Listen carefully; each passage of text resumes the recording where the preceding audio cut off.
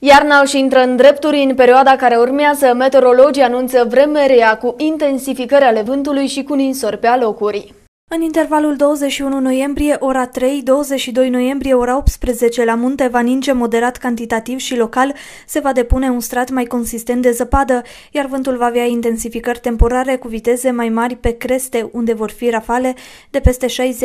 km pe oră, viscolind în insoarea și spulberând zăpada. În Transilvania, la începutul intervalului de prognoză, regimul termic va fi caracterizat de valori ale temperaturilor maxime de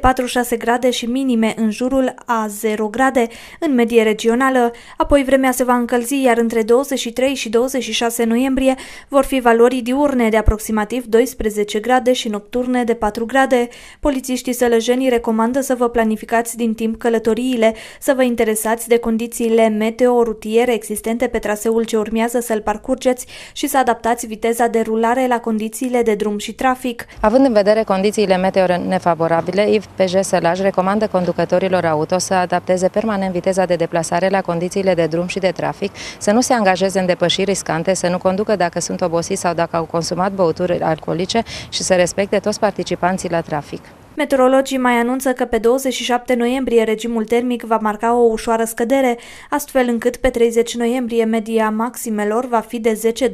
10-12 grade, iar a minimelor de